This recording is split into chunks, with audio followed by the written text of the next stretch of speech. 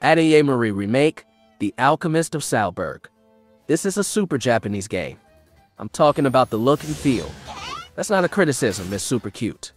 Production quality is high, and everything is put together. Well, you're obviously an alchemist, so there will be alchemy involved. There's also a lot of traditional turn-based RPG combat and exploration. The alchemy bit has you foraging for stuff. There's a really nice Japanese voiceover for some scenes. And the hand-drawn portions are as good as the digital renders. Like I said, it's overly cute, but it's also good and plays really well. Controls are tight and menus are intuitive. I give this one an 8 out of 10.